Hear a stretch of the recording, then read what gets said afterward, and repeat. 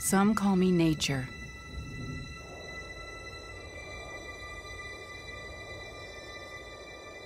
Others call me Mother Nature. I've been here for over four and a half billion years. 22,500 times longer than you. I don't really need people, but people need me. Yes, your future depends on me. When I thrive, you thrive. When I falter, you falter. Or worse.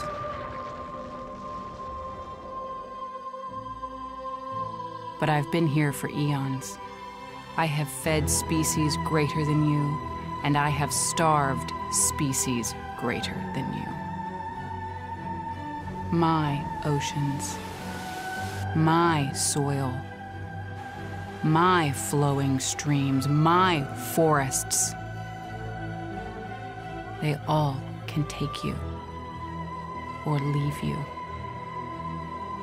How you choose to live each day, whether you regard or disregard me, doesn't really matter to me.